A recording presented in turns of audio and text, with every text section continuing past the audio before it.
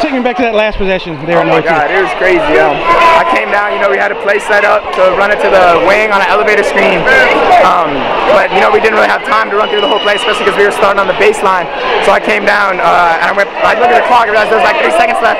So I went behind the back. I saw my defender kind of stumble a little bit back up. So I realized I just had to rise up. Um, and I let it fly. It, just, it was amazing. It went in. When you let it go, did it feel like it was? Oh yeah, when I when I let it go, I knew it was going in. I knew it just won. It was amazing.